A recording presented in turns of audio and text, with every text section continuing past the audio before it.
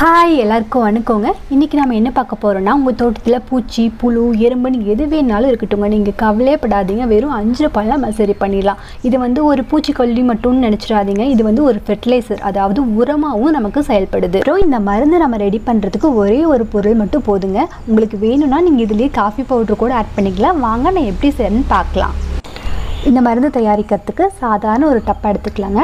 டப்பா எடுத்துகிட்டு ஒரு நாலே நாலு புகையில மட்டும் உள்ளே போட்டுக்கலாங்க கிள்ளி போட்டுக்கலாம். இந்த புகையில பார்த்தீங்கன்னு வச்சுக்கோங்க இதில் நிக்கோட்டின்னு ஒரு பொருள் இருக்குங்க. இது பூச்சி புழு எறும்புக்குன்னு எதுக்குமே ஆகாதுங்க. சொல்லப்போனால் பள்ளிக்கு கூட ஆகாது இந்த டொபேக்கோ.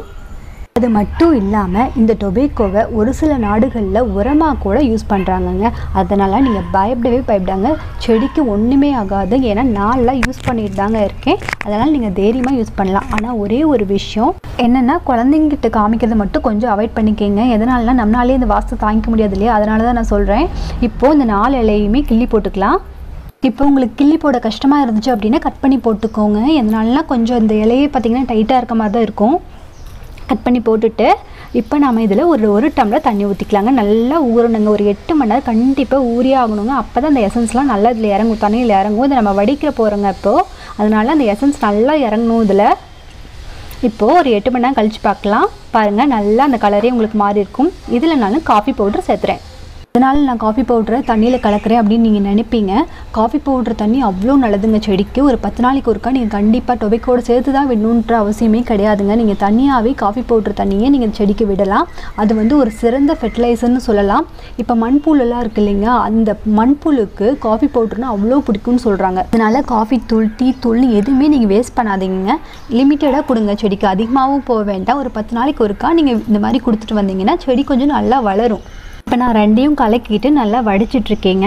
இதை வந்து நான் இப்போ ஒரு டப்பாவில் ஊற்றி வச்சுக்கலாம். பார்த்திங்கன்னா இந்த இடத்து ஓட்டை போட்டு வச்சுருக்கேன்.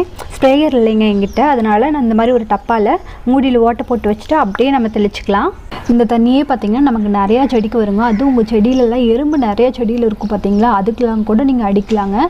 அதுவும் கருப்பெருமை குட்டி கருப்பெருமைக்கு நீங்கள் அடிக்க வேண்டியதில்லை. அது நமக்கு நல்லது செய்கிறது தான் இந்த புழு பார்த்திங்கன்னா எப்படி இருக்குது பாருங்கள் இலையை பாருங்கள் எப்படி சாப்பிட்ருக்குன்னு இந்த புழுலாம். புழு பூச்சி எறும்புன்னு எதுக்கு வேணாலும் அடிக்கலாங்க. கண்டிப்பாக நீங்கள் அடித்து பாருங்க.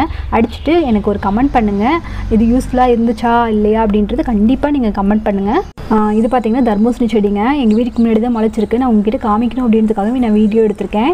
பாருங்கள் இந்த மாதம் பார்த்தீங்கன்னா ஆகஸ்ட்டுங்க. ஆகஸ்ட்டில் வந்து இந்த தர்பூசணி பாருங்கள் எப்படியோ வந்திருக்கு. இது ஃபஸ்ட்டு தர்பூசணிங்க சும்மா தூக்கி போட்டது தான் எப்படி முளைச்சிருக்கு பாருங்கள் இந்த வீடியோ உங்களுக்கு பிடிச்சிருந்துச்சின்னா கண்டிப்பாக நீங்கள் சப்ஸ்கிரைப் பண்ணிவிடுங்க அப்போ தான் நான் போஸ்ட் பண்ணுற வீடியோஸ்லாம் உங்களுக்கு வரும். ஓகேங்க பாய் அடுத்த வீடியோவில் பார்க்கலாம். பாய்